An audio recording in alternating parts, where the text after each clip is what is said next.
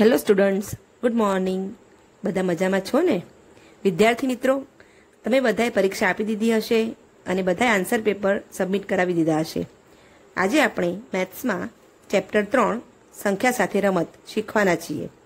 વિદ્યાર્થી મિત્રો, મેથ્સ એવો સબ્જેક્ટ છે કે જેમાં તમે જેટલી વધારે લેખિત પ્રેક્ટિસ કરશો, તેટલું સરળતાથી સમજી શકશો. બીજા બધા વિષયોમાં તમે વાંચીને તૈયારી કરી શકશો, પણ મેથ્સમાં તમારે સમજીને તૈયારી કરવી પડશે. માટે જેટલી વધુ લેખિત પ્રેક્ટિસ કરશો, તેટલું વધારે સારું. તો ચાલો, શરૂ કરીએ.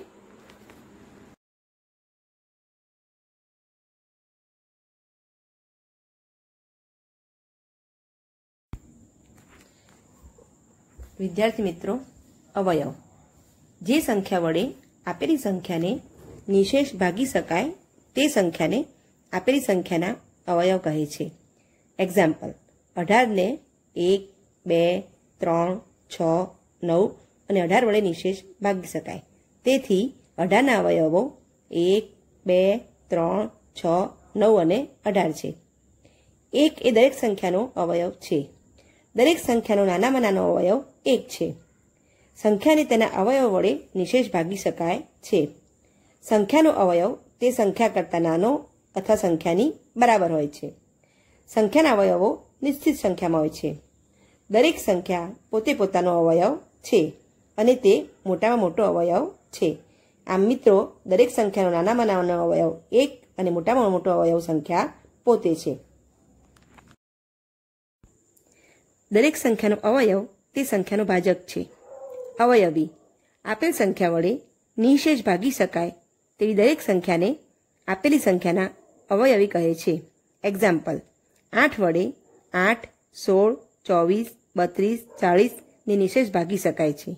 તેથી આઠ, સોળ, ચોવીસ, બત્રીસ એ આઠના પ્રથમ ચાર અવયવી છે. દરેક સંખ્યા પોતે પોતાનો અવયવી છે. દરેક સંખ્યા એકનો અવયવી છે. દરેક સંખ્યાના અવયવીઓ અસંખ્ય હોય છે. કોઈપણ સંખ્યાનો નાનામાં નાનો અવયવી સંખ્યા પોતે જ છે. મિત્રો આમ કોઈપણ સંખ્યાનો નાનામાં નાનો અવયવી અને મોટામાં મોટો અવયવ સંખ્યા પોતે છે. જેમ કે અઢારનો નાનામાં નાનો અવયવી અઢાર અને મોટામાં મોટો અવયવ અઢાર છે. સ્વાધ્યાય ત્રણ પોઈન્ટ એક. દાખલો એક. નીચેની સંખ્યાઓના તમામ અવયવો લખો. નંબર એક, ચોવીસ. મિત્રો, જે સંખ્યા વડે આપેલી સંખ્યાને નિશેષ ભાગી શકાય તે તેના અવયવ કહેવાય. માટે એક ગુણ્યા ચોવીસ, બે ગુણ્યા બાર ત્રણ ગુણ્યા છ, આઠ અને ચાર ગુણ્યા છ. આમ ચોવીસના બધા અવયવ, એક, બે, ત્રણ, ચાર, છ, આઠ, બાર અને ચોવીસ છે. આમ ચોવીસો નાનામાં નાનો અવયવ એક અને મોટામાં મોટો અવયવ ચોવીસ છે. પંદર, તો એક ગુણ્યા પંદર, ત્રણ ગુણ્યા પાંચ. માટે પંદરના બધા અવયવ એક, ત્રણ, પાંચ અને પંદર છે. એકવીસ, તો એક ગુણ્યા એકવીસ, ત્રણ ગુણ્યા સાત. માટે એકવીસના બધા અવયવ એક ત્રણ, સાત અને એકવીસ છે.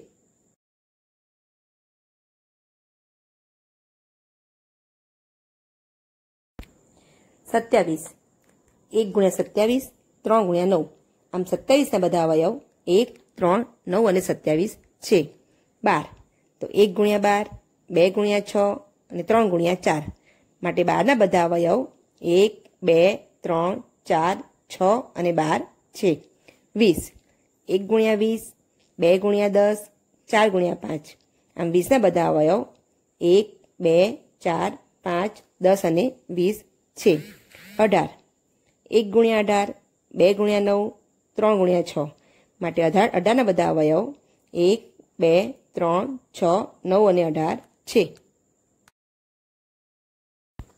ત્રેવીસ. એક ગુણ્યા ત્રેવીસ. ત્રેવીસ બીજા કોઈ ઘડિયામાં આવતી નથી. માટે ત્રેવીસના અવયવો એક અને ત્રેવીસ છે. છત્રીસ.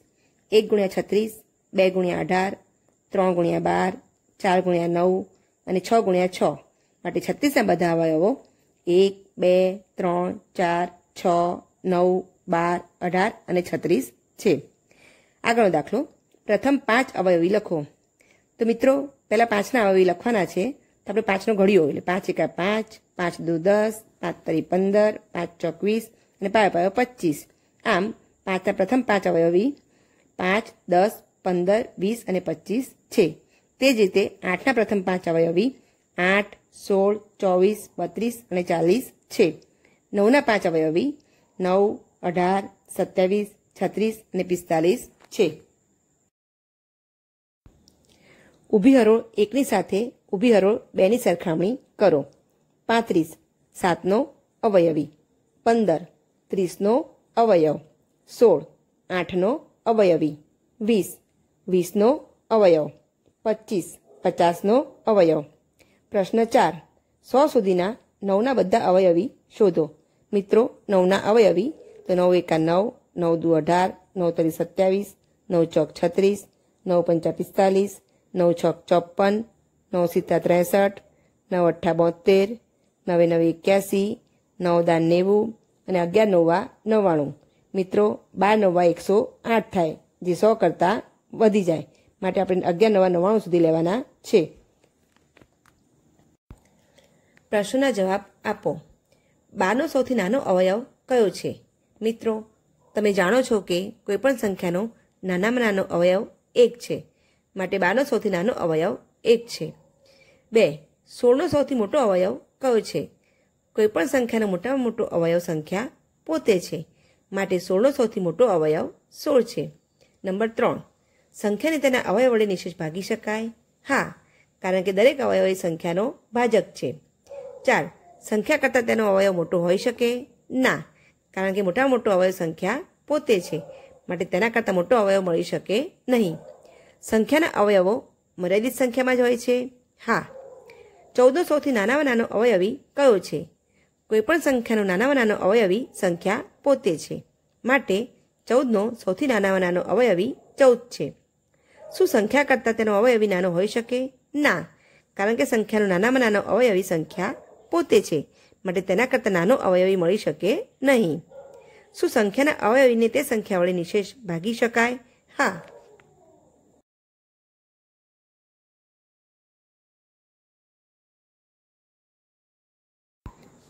શું સંખ્યાના અવયવી અમર્યાદિત સંખ્યામાં હોય છે. હા, કોઈપણ સંખ્યાના અવયવી અસંખ્ય હોય છે. સંપૂર્ણ સંખ્યા પરફેક્ટ નંબર જે સંખ્યા માટે તેના બધા અવયવોનો સરવાળો તે સંખ્યા કરતાં બમણો થાય, તો તે સંખ્યાને સંપૂર્ણ સંખ્યા કહે છે. ચાલો મિત્રો, તેનું ઉદાહરણ જોઈએ. ધારો કે સંખ્યા છ. તો છના અવયવો એક, બે, ત્રણ અને છ છે. તેનો સરવાળો કરતાં એક વત્તા બે, વત્તા ત્રણ, વત્તા છ. બરાબર બાર મળે. અને છને બે વડે ગુણતા છ દુ બાર થાય. આમ છના અવયવોનો સરવાળો છ કરતાં બમણો છે. માટે છ એ સંપૂર્ણ સંખ્યા છે. એક્ઝામ્પલ ટુ દસ. દસના અવયવો એક, બે, પાંચ અને દસ છે. તેનો સરવાળો કરતાં એક વત્તા બે, વત્તા પાંચ, વત્તા દસ, બરાબર અઢાર મળે છે. અને દસને બે વડે ગુણતા દસ ગુણ્યા બે બરાબર વીસ થાય. આમ, દસના અવયવોનો સરવાળો દસ કરતાં બમણો થતો નથી. માટે દસ એ સંપૂર્ણ સંખ્યા નથી. અઠ્યાવીસ. અઠ્યાવીસના બધા અવયવો એક, બે, ચાર, સાત, ચૌદ અને અઠ્યાવીસ છે. તેનો સરવાળો કરતાં છપ્પન થાય છે અને અઠ્યાવીસને બે વડે ગુણતા છપ્પન થાય છે. આમ, અઠ્યાવીસના બધા અવયવોનો સરવાળો અઠ્યાવીસ કરતાં બમણો થાય છે. માટે અઠ્યાવીસે સંપૂર્ણ સંખ્યા છે. અવિભાજ્ય અને વિભાજ્ય સંખ્યાઓ. અવિભાજ્ય સંખ્યા.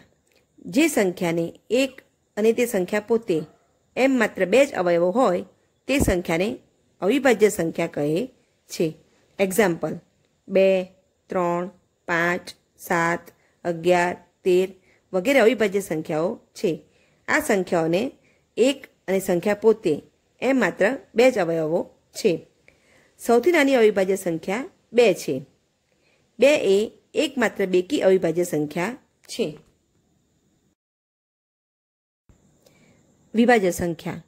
જે સંખ્યાને બેથી વધારે અવયવો હોય, તે સંખ્યાને વિભાજ્ય સંખ્યા કહે છે. એક્ઝામ્પલ ચાર, છ, આઠ, નવ, દસ, બાર, ચૌદ વગેરે વિભાજ્ય સંખ્યાઓ છે. એકને વિભાજ્ય કે અવિભાજ્ય સંખ્યામાં સમાવેશ કરવામાં આવતો નથી. એક એ વિશિષ્ટ સંખ્યા છે. સૌથી નાનામાં નાની વિભાજ્ય સંખ્યા ચાર છે. એકથી સો સુધીમાં આવતી અવિભાજ્ય સંખ્યાઓ લખો. બે, ત્રણ, પાંચ, સાત, અગિયાર, તેર, સત્તર, ઓગણીસ, ત્રેવીસ, ઓગણત્રીસ, એકત્રીસ, સાડત્રીસ, એકતાલીસ, તેતાલીસ, સુડતાલીસ, ત્રેપન, ઓગણસાઠ, એકસઠ, સડસઠ એકોતેર, તોતેર, ઓગણએંશી ત્યાસી નેવ્યાસી અને સત્તાણું. આ બધી અવિભાજ્ય સંખ્યાઓ છે. એકી સંખ્યા. જે સંખ્યાઓને બે વડે નિશેષ ભાગી ન શકાય, તેવી સંખ્યાઓને એકી સંખ્યા અથવા વિષમ સંખ્યા અથવા અયુગ્મ સંખ્યા કહે છે. મિત્રો, તમે આગળના ધોરણમાં શીખી ગયા છો કે જે સંખ્યાનો એકમનો અંક એક, ત્રણ, પાંચ, સાત કે નવ હોય તેવી સંખ્યાઓને એકી સંખ્યા કહે છે. બેકી સંખ્યા. જે સંખ્યાને બે વડે નિશેષ ભાગી શકાય, તેવી સંખ્યાને બેકી સંખ્યા અથવા સમ અથવા યુગ્મ સંખ્યાઓ કહે છે. એટલે કે જે સંખ્યાનો એકમનો અંક બે, ચાર, છ, આઠ કે શૂન્ય હોય, તેવી સંખ્યાઓને બેકી સંખ્યા કહે છે. થેન્ક યુ વિદ્યાર્થી મિત્રો.